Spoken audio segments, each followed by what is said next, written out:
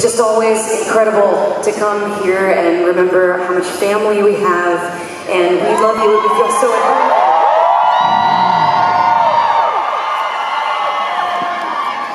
Things are crazy and scary and burning down and blowing up all around us, and we just have to remember to love each other.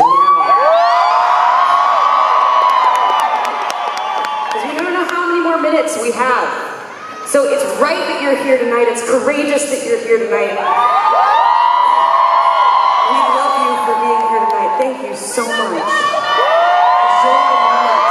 I am enjoying the moment. We are so happy to be here with you. Thank you.